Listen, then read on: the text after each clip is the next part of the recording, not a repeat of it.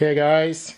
How you doing? I hope you are doing well. This is hp color laserjet pro mfp m479 fdn this printer is multifunctional printer. It's multitask four in one in the sense you can print scan copy and fax. You can scan to microsoft sharepoint dropbox and more. This printer got intuitive for 10.4 centimeter or 4.3 inch color touchscreen. Strong security design to detect and stop attack. Single pass two-sided scanning. Fast printing speed. And this printer is using ink toner 415a or 415 extra. In terms of the printing speed 28 prints per minute for black and 28 print for color. This printer if you are using ink toner 415a you can print up to 1200 page for color and 2400 pages for black.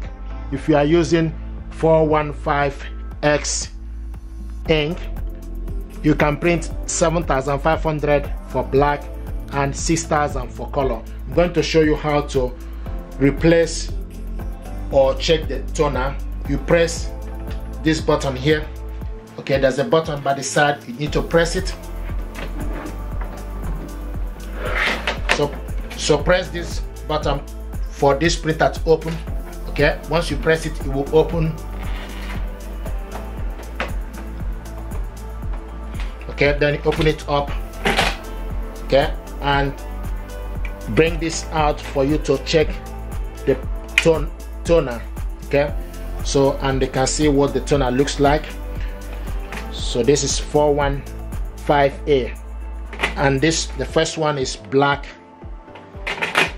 The second one is cyan. Is light blue. This one is magenta and this is yellow okay? So you look the particular one you want to change the number is here. You can also see can also see the, the sticker okay? You can see this is showing us scale. This one is black color okay? And this is cyan c if you open it up it will show you. This is cyan.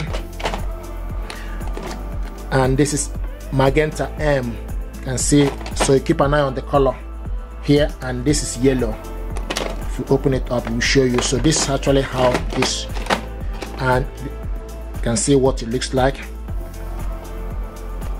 Okay so this is actually how to replace this. Once you replace the part you need to push it. Okay and close this. So this is how this toner work and how to replace the toner. Once you're done that you just need to wait for a few minutes for this printer to set. Thank you very much indeed and stay blessed